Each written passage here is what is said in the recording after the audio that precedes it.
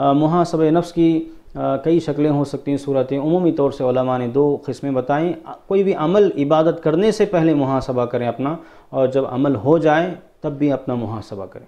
कोई काम हमें करना है, सोचें काम नेक है, या बद है अच्छा काम है, बुरा है, खैर है, शर है, ये किताब सुन्नत के मुआफ़ है, नहीं है, अल्लाह को पसंद है, नहीं है, तरीक़ा प्यारे नबी सासम का है नहीं। अमल करने से पहले गौर फ़िक्र कर लें, नीयत खालिश कर लें, अमल अंजाम दें। कुछ मुहासबा जो कुछ अमल ऐसे हैं, करने के बाद हमें मुहासबा करना पड़ेगा कि अमल जो हमने किया, ये सही था, नहीं था।